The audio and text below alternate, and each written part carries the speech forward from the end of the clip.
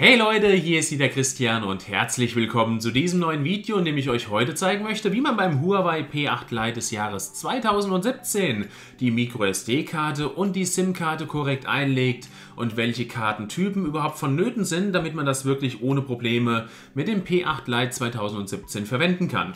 Zum einen und als erstes natürlich, man benötigt ein Huawei P8 Lite 2017. Das habe ich hier in der Farbe schwarz auf dem Tisch liegen. Als zweites natürlich noch das sogenannte SIM SIM-Karten bzw. E-Check-Tool, das dem Lieferumfang dieses Smartphones beiliegt. Ihr seht diese kleine Spitze, mit der habe ich die Möglichkeit nachher den SIM-Karten und Micro-SD-Kartenschlitten aus dem Huawei P8 Lite äh, zu entnehmen.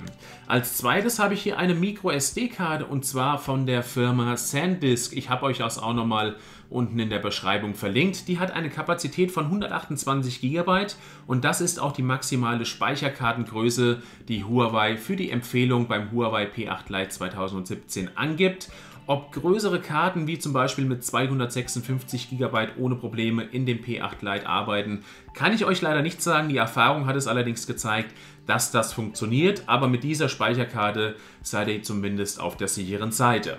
Und zu guter Letzt benötigt ihr natürlich auch noch eine SIM-Karte. Die SIM-Karte bekommt ihr natürlich von eurem Provider, von eurem Netzanbieter, zum Beispiel der Deutschen Telekom, O2, Kongstar oder natürlich auch Vodafone. Und in diesem Falle benötigt ihr eine SIM-Karte in der Nano-SIM-Kartengröße. Es gab mal eine Mini-SIM, die gab es so vor ungefähr 10 Jahren. Dann gab es eine Micro-SIM vor bis zu, ja, sagen wir mal, 2, 3 Jahren. Und die kleinstmögliche Ausgabe ist die Nano-SIM-Karte. Das heißt, wenn ihr zum Beispiel dieses Gerät kauft und auch einen Vertrag oder eine Prepaid-Karte verwenden möchtet, ähm, dann sagt doch bitte eurem Provider, dass ihr eine Nano-SIM-Karte für das P8 Lite 2017 benötigt.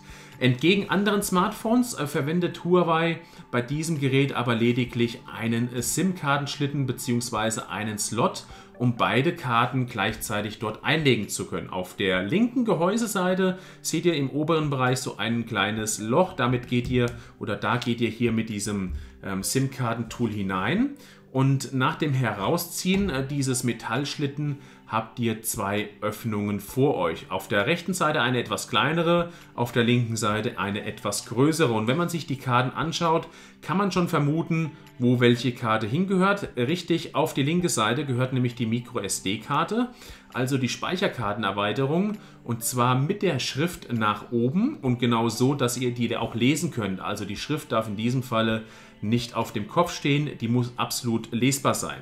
Und auf der rechten Seite wird dann auch die Nano-SIM-Karte eingelegt, ebenfalls mit der Schrift zu euch. Allerdings ähm, steht die senkrecht in diesem SIM-Card-Slot und die abgeschrägte Ecke ist unten rechts. Das heißt, wenn ihr das genau so in dieser Kombination einlegt, dann ist das korrekt. Jetzt führt ihr diesen Schlitten vorsichtig ähm, wieder in das Gerät rein. Da kann es ab und an mal äh, vorkommen, dass es etwas verhakt. Ihr seht, die SD-Karte wird vorbereitet. Jetzt muss ich noch die PIN ähm, meiner SIM-Karte eingeben und dann ist das Ganze auch schon entsperrt. Und zu guter Letzt gehe ich nochmals in die Einstellung, um nachzuschauen, ähm, ob die Speicherkarte, also die SD-Karte, auch wirklich korrekt hier auf dem Telefon erkannt wurde. Jetzt muss ich das mal hier oben eingeben und zwar Speicher, damit ich das etwas schneller finde. Ähm, und ihr seht es, dort habe ich es gefunden. Ähm, zum einen haben wir hier den internen Speicher mit 16 GB momentan und auch den mobilen Speicher der SD-Karte und zwar 112 ähm, GB sind frei, äh, von ähm, ja, 119 GB verfügbar. Das heißt, jetzt habe ich die Möglichkeit, auf diese SD-Karte alle möglichen Dateien, Bilder, Videos oder sonst was zu packen. Ich habe auch wirklich die Möglichkeit, von der Kamera direkt auf die SD-Karte zu schreiben. Das heißt, dass die Bilder direkt auf der Micro-SD-Karte abgelegt werden.